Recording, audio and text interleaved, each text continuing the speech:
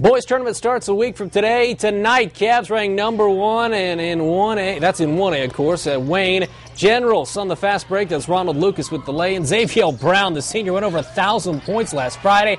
He drops in a triple. He'd score a lot tonight. More on that in a second. Canterbury answering from deep. How about Austin Hatch, the sophomore sensation?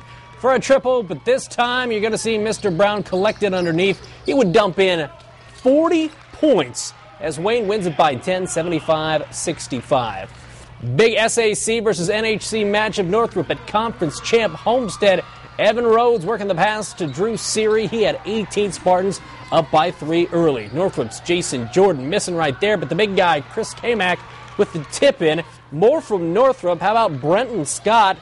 One half of that Scott twin combo. He had 23, but Rhodes simply too much tonight. He had 29. Sparty a winner over the Bruins, 80 76.